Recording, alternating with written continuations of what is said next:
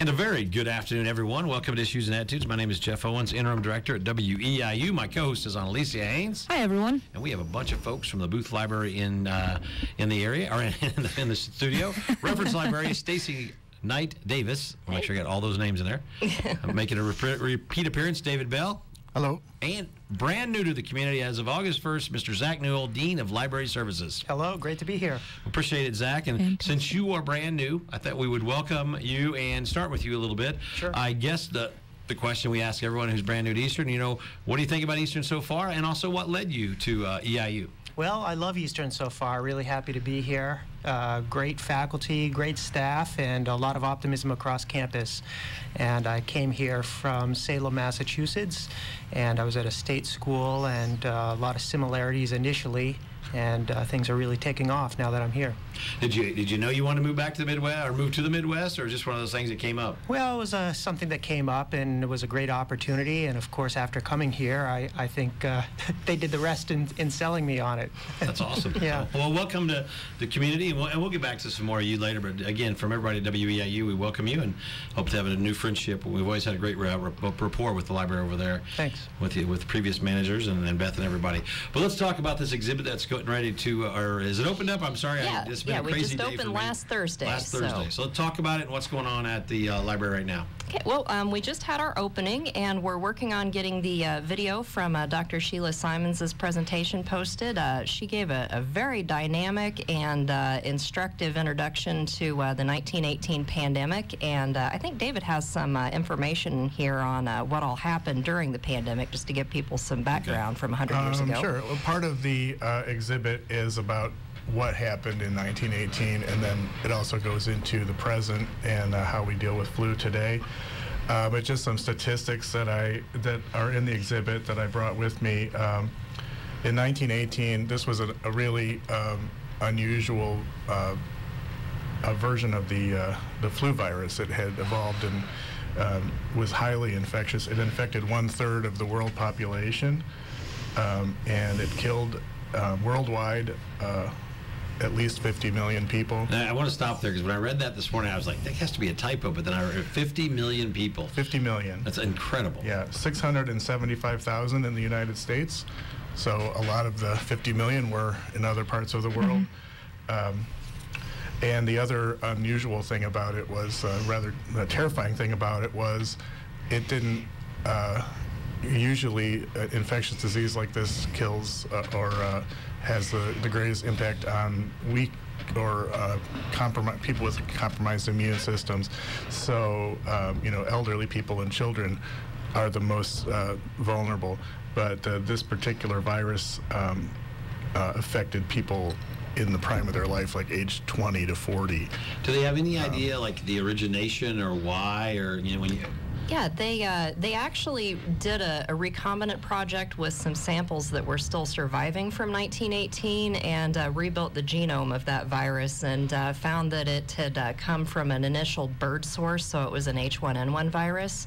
Um, one of the exhibits that we have out in the the far north lobby of the building gives some more information on how, about how the viruses jump from birds to people, or birds to pigs to people, or birds to ferrets to you know.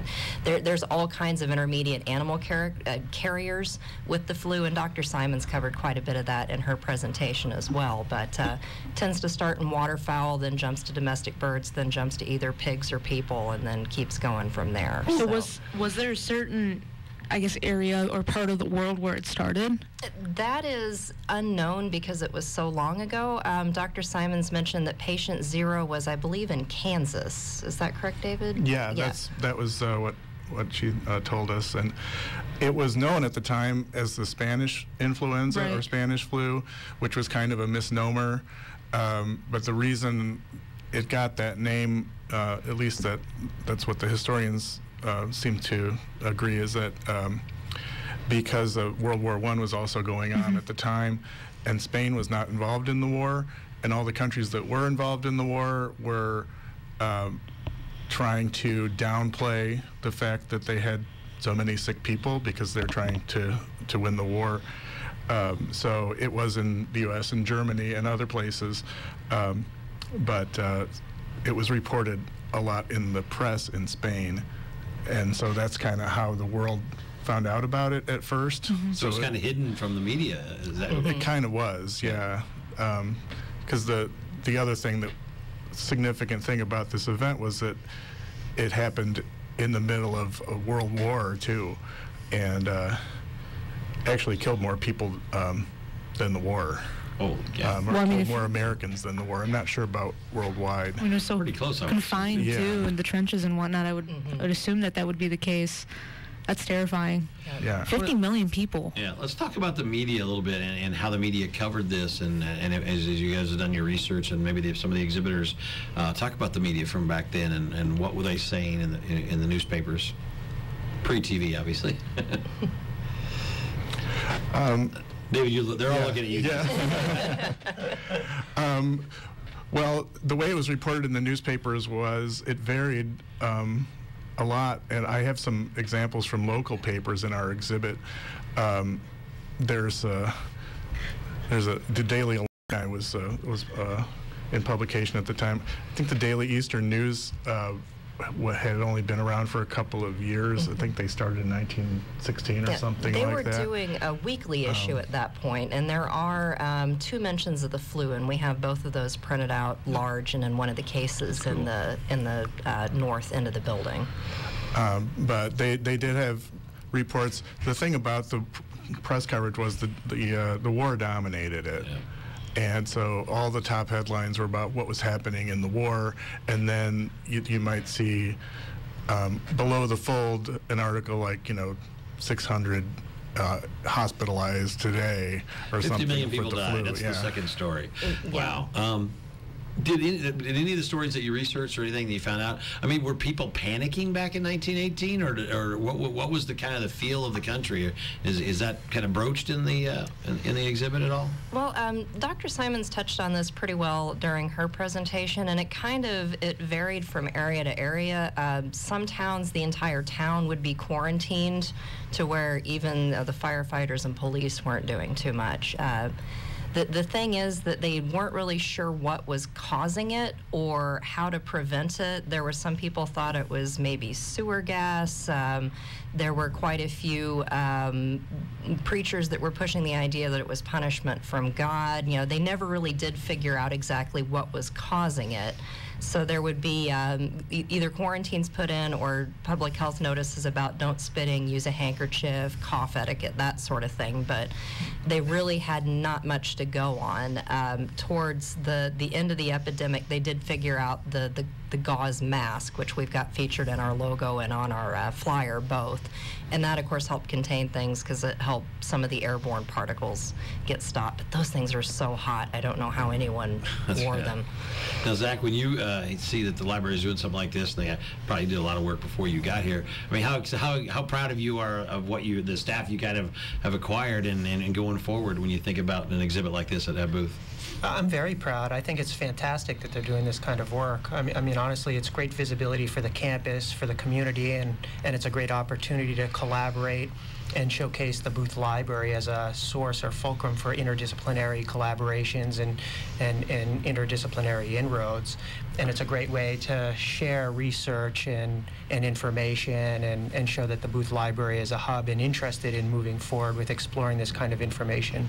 Let's talk about the exhibit. If you could go through some of the things that are going to happen over Booth, kind of the, the when, the where, the hot, why. I know there's events going on for about the next uh, what six, seven weeks. Well, our next one coming up is on October 1st at 4 p.m., and that is uh, Ramona Tomshak from uh, Sarah Bush Lincoln uh, Medical Center, or Health Center, sorry. Center, yeah. Health Center. It, it's right here on the page. I just can't read. Um, she's she's the infection control preventionist out at Sarah Bush, and she's going to be talking to us about the different things that happen within a healthcare setting to try to keep infections from spreading. Uh, and the title of her presentation is Influenza and Infection Prevention. Can you say flu, SARS, MERS, and CoV? So she's going to be covering a lot of the different infectious agents and, and how her work helps keep all of us healthy when we have to go to the hospital when there's an infectious disease outbreak. Um, after that, on October 9th and 11th, uh, the cafe over in Klehm Hall is going to be doing a 1918 menu. I saw this. So, what, do you know what's on it? Can I, Um, I, I've not heard a whole lot yet from Dr. Wilkinson. The general idea he gave us was he was going to play off the whole white food movement from that time period where you were supposed to eat things that were very bland and colorless for your health. there you go. awesome. Yeah, we, we do have the menu from the 1918 banquet that was held at Eastern, and it was, uh, I think it was a veal cutlet. Um, Potatoes and bread. potatoes, some sort of Oatmeal's all I can aspic. Yeah, so um, I'm Just not it sure on top of the exactly what the menu will be yet, but it will be um, very much themed around that white food idea. Was the last thing I No heard. carrots or from him. tomatoes, folks. You, you know, as a side note, to root this in, in 1918, 1917 thereabouts, is the library is named after Mary Booth, who was the director of the library from 1904 to 1945. But David had done a little sleuthing and discovered in the archives the 1918 yearbook, in which it showed a picture of Mary Booth going, heading to World War One. Uh, she was bringing books. Did I did I get that correctly? Uh, she volunteered for the Red Cross. Okay. And Mary Booth was the librarian at Eastern from 1904, and then up till the war, she uh, at that time she volunteered to go overseas to help with the war effort, and um, yeah, she was. I think it was a joint effort between the American Library Association and the Red Cross. Red Does that Cross, sound yeah. right? Yeah. Um, and uh, so she she went over there, and they had a, uh, a going away party for her. Um, and uh, there's a there's a fun account of that in the 1918 uh, senior scrapbook. Yeah. And apparently they um, they someone wrote a song for her, and they all sang it.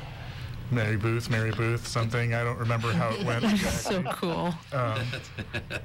and uh, they also uh, they they did uh, uh, someone put together a play um, like a, a charades version of a library science class one of the students impersonated miss booth and they uh, they simulated checking out books and and uh, things like that I mean, we, and she'd only started 14, so she must have had a gigantic impact immediately on this Mm-hmm. campus. Then. She did. Well, her her big thing in her whole career was to get a, a, a standalone library building for this university, for this campus, um, because of course everything was in Old Main when it first started, and the library was like two or three rooms of, in Old Main, and uh, it quickly outgrew that space. So. Um, yeah, and she came back after the war, and she um, w- retired in 1944, I think. 44, 45, I'm 45, not sure yeah, which. 45, yeah. So she literally was here her whole Both life. World Wars. She was, Right, Yeah, yeah. right, right. And she came back in the, with the picture you had, she came back in 1950 for the dedication of the library. Right. The, the library building we have now, it's originally opened in 1950, and she came back for the dedication. She lives here in Charleston. There's that little house over on Fourth Street, uh, Booth House. That was Yeah. that was her house, um, and uh, she died in 1965. Wow. So we uh, that, that was a good segment to go off on. Any other thing? I mean, I know there's lots of stuff. But, you know, right, let's go, can we go to the exhibit a little bit, just you know Sure, what people sure. can expect? Uh, you know, that you talked about the mask and stuff. Yeah. Kind of um, so we, we've got several different cases going. I did quite a few of them, so I'll, I'll rattle on for a bit here about what. I did. Uh, the one in the north, as I mentioned, it, it talks about some of the ways animals transfer the flu between each other and to humans. Also covers uh, some basic steps to take to prevent f- the spread of flu. And um, it also goes a little bit into livestock health because trying to keep chickens separated from wild birds is a key thing with uh, preventing the flu from jumping. Okay. Um, I'll let David talk for a second here about the case that's across from the one there in the north end. Uh, so that's in the in the North Foyer. The other exhibit case is um, what I put together, which is how people uh, dealt with the flu in 1918 exa- and, and the events that happened. And uh, there's a panel on the statistics, some some of the things I talked about, how many people were infected and how many died. Um, and the, there's a panel about the masks and uh, how those were pretty ubiquitous. Pretty much everyone wore those. And uh, um, there's uh, uh, what else? Um, I got a question while you're while you're in thought there, Dave. Sure. How, when did they know that the pandemic of 1918 was when when it was over? When did they just the dates and how do they know? Well, um, from what Dr. Simons told us, basically they just ran out of people that could still be infected. So it just kind of trailed off as people that had not been infected ceased to exist. So, So it either almost hit like a certain segment of population and not others. Is, Well, it, that- it hit everybody, but either you had it and died, or you had it and lived. and like The once Walking Dead you, in real you life had it, you couldn't get it Really? again. So yeah, I mean, it, it very much was. And uh, Dr. Simons compared it to the Black Plague, and it, it's nothing. The plague was nothing compared to what the flu was. so Really? yeah. I'm gonna wash Oh my hands every gosh. three minutes now. Yeah, because and, and, Do you know and working off of that, we do have an example of uh, how to properly wash your hands on one of the bulletin boards. Most people don't do it right. Um, there's a, a snippet from a research article in there from uh, a couple decades ago where they proved what portions of the hand do not get washed. Uh, so we've got that. Um, And that, and that was a large theme from doc, Dr. Sh, uh, Sheila Simons too. was Yeah. about this shaking of hands. I mean, think about how many hands you shake in the course of a day. yeah, I all three years of it. yeah. What Yeah. what portions are those? It's usually the the back of your hand along your thumb between your fingers I could see because that. no one ever runs the fingers together. Under the nail beds is another Yeah, commonly I missed see that place. too. So you know, if you think you kind of rub them together like this, this always gets missed. So you know, it's sorry for the people on the on No, the radio that aren't on right TV. there yeah, it's you're uh, TV. you know when you rub your hands together, if you do it like you normally would, and then think about all the places you're missing. Um, you're supposed to sing "Happy Birthday" twice in your head while you're. That's what my mother told us to do. Yeah, so I still do. I feel like a child when I go in there. But uh, this is a college campus. This is a very dirty place. Okay, so I am going to wash Yeah, my and, hands. and that's one of the, the kind of scary things that's covered in the exhibit in the, the far north lobby is the flu virus particles can survive up to 48 hours on a surface. So, and they can also get transferred around through air systems. So if somebody has a good sneeze, it goes up into the air handler. The whole building is now breathing. And that's why you're never supposed to use those air handlers in the bathrooms, Yeah, right? because it blows it everywhere. Yeah. See, so I don't know why people invented uh, those. See, I'm, Yeah. I'm no one realizes grossed out. that. How you, Lunch you, you hanging in there? Don't breathe too close, you closely into the mic. Uh, other stuff. This is really fascinating. You So, um, in addition, uh, Brad Tolppanen, who um, has uh, he'll be coming back as our head of circulation here later this week. He pulled a bunch of historical um, public health posters from the era. So, things about you know spit equals death. Uh, how to, to cough into your handkerchief, that sort of thing. And those are all behind the security desk, as well as a, uh, a mock up of one of the gauze masks we've got in there for people to look at. Um, discovered when I was trying to make that mask that the style of gauze they used back then isn't really in production anymore. So we kind of had to fake it up with a few odds and ends of old stock that health services had, and you know some other things I had around my house. So I'm even just the gauze technology has changed significantly in a hundred So years. no, I was in Sally Renault's class when she did. We had a research project and we researched um, the flu, that the pandemic. And my part of the research project was studying advertisements. So two questions from that. In those advertisements, I saw things like you know the special tonic. If you put it, if you drink it, you'll you'll you know avoid getting the flu um, or if you shave your head there, that was one of them too you'll avoid getting the flu um, so my question is when did the flu shot when did they stop doing all this make believe tonic stuff and when did they come up with with the flu shot That is a great question, and I don't remember the exact date, but I want to say it was right after World War II is when they first started perfecting it. Does that sound right, David? That's I'm I'm not sure either. but, Okay. uh, It- I think I've heard um, that as well. I know at the after. time, Right. in 1918, they did know about bacteria, and they there were some um, uh, vaccines for things, but they didn't exactly know what the causative Right. agent They was. They just sort of attempted to make a vaccine, but it wasn't Yeah. for the right thing, so Like- it was completely useless They, uh, at the time. They vaccinated for smallpox back then, but Yeah. they didn't know exactly. They just like took some stuff from Mm-hmm. uh, infected uh, uh, wound from the smallpox, and and uh, they were actually doing that back in the Middle Ages. right Um, but they Which- didn't know the science behind it. And uh, the flu virus, they didn't really, at the time in 1918, they didn't have uh, a microscope that could see it. It couldn't be seen until the electron microscope was developed, like in the 1930s. Um, so they they actually developed some um, vaccines in 1918 because they were looking under the microscope and they thought, oh well, we got this, you know, fluid from somebody who died of the flu, and there's some there's this in it, so maybe that's what caused it. And so then they created this vaccine, and uh, you know people were given shots, and they thought it might help. Right. They didn't know what they were what they were uh, doing, but. Uh, That's incredible. That's And- and, amazing.